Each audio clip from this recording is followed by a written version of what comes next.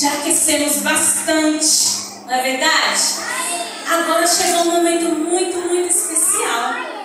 Eu estou muito, muito, muito feliz de ver cada um de vocês aqui mais uma vez. E como a tia já falou da EBD, eu vou falar mais uma vez. Temos EBD todos os domingos, tá bom? A partir das 8 horas, vocês sabem, né? E todos vocês são convidados. E também podem convidar um amiguinho, tá?